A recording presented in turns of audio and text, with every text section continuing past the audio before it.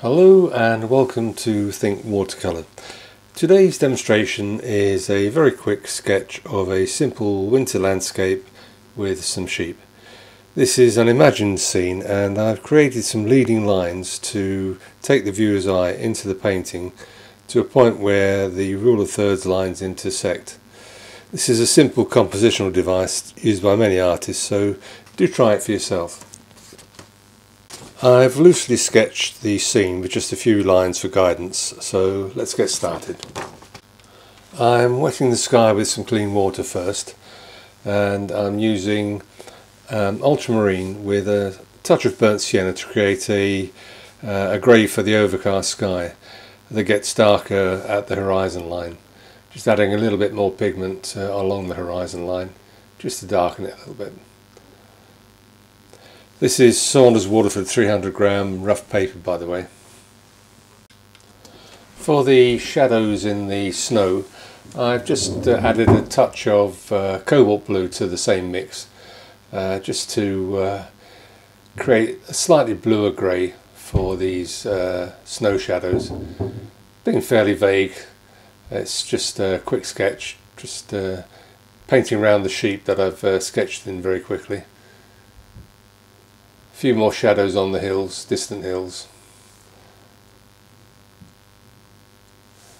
The shadows in snow tend to reflect whatever colour the sky is and this is an overcast sky so they're going to be a bit greyer than, uh, than normal.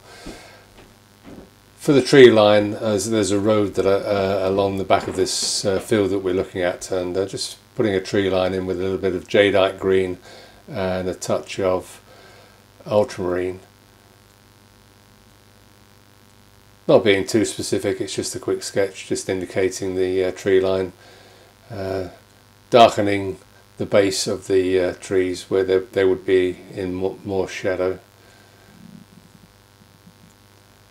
Just adding, adding a little bit more blue to the mix just to uh, create that darker area at the base of the trees.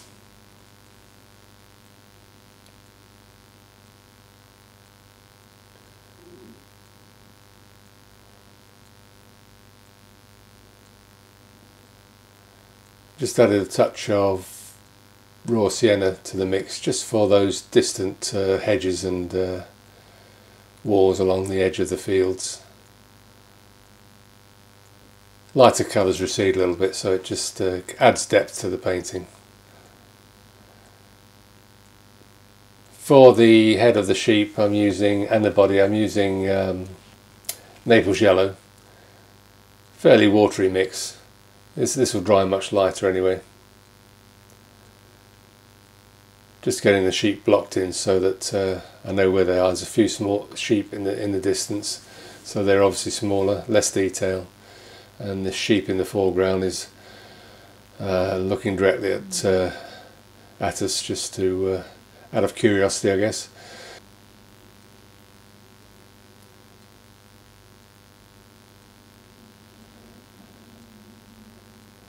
Just using the side of the brush, using the Naples yellow again just to uh, indicate some areas where the snow hasn't settled.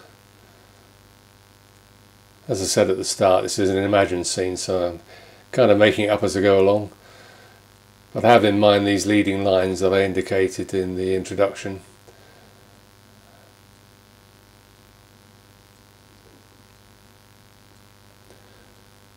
Again, just adding a little bit of burnt sienna to uh, that shadow area where the uh, the snow is overhanging. A little dip in the uh, in the landscape, and just dropping in a little bit of ultramarine just to mix in with the burnt sienna on on the paper. Let it blend together.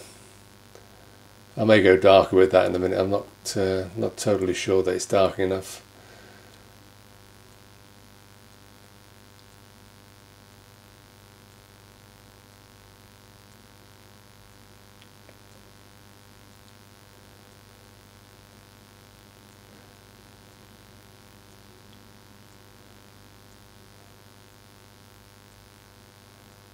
Using the same colours for the uh, sh shadowy areas on the sheep just to break them up a little bit.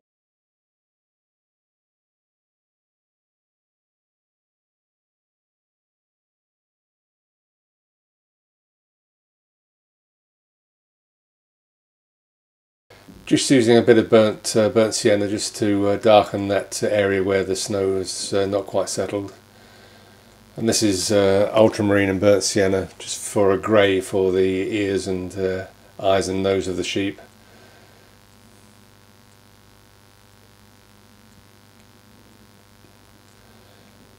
again it doesn't have to be too detailed it's um, it's just a quick sketch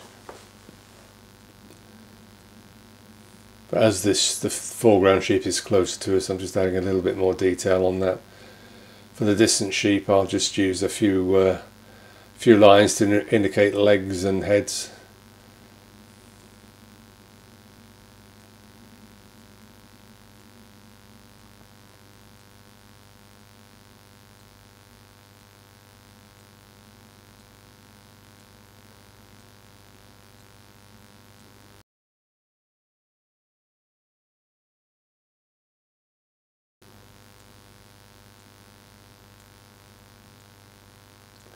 Just darkening that shadow. I wasn't uh, quite happy with it. So, uh, and a few dark patches dotted here and there in the snow where the uh, there are clumps of uh, earth and rocks sticking through.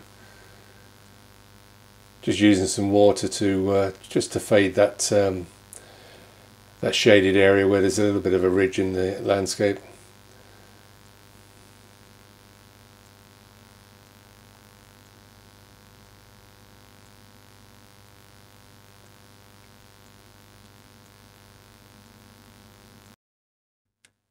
For the twigs and branches that are sticking up through the snow, I'm using Van Dyke Brown uh, with a number zero rigger, keeping it simple. Just a few bits of twigs sticking up here and there through the snow. And just using the side of the rigger to indicate the more distant uh, bits and pieces sticking through the snow. Using the same mix just to uh, darken the uh, the shadow on the legs of the foreground sheep and uh, and the eyes. Just adds a little bit of dimension to the uh, to the animal.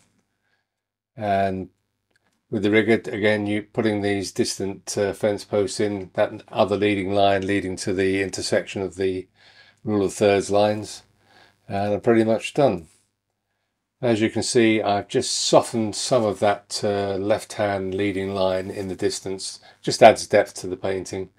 Uh, I thought it was a bit too sharp and was was bringing it too far too forward to the eye. Uh, I hope you found this useful. Do give this idea a try of uh, using leading lines to create a composition of your own. Um, if you found this video useful, do give it a like. Always helps with YouTube. And do subscribe if you're not a subscriber and hit the notification bell for future videos. And thanks again for watching.